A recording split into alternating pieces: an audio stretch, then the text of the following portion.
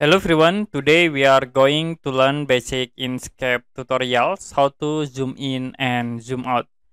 To use zoom tools, you can go to view menu and then click on zoom. In here you can see we have this zoom in and zoom out tools. But you also can use scroll mouse to zoom in and zoom out. You can press control button and then use scroll mouse to zoom in and zoom out the canvas. You also can create the rectangles or the other object uh, ellipse. And you can uh, zoom into this ellipse by sorting the mouse into the object or you can move again into this rectangle object.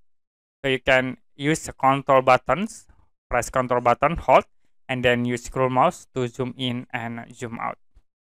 Okay that's it for basic inkscape tutorials how to zoom in and zoom out and if you have any question about this tutorial, you can comment below this video.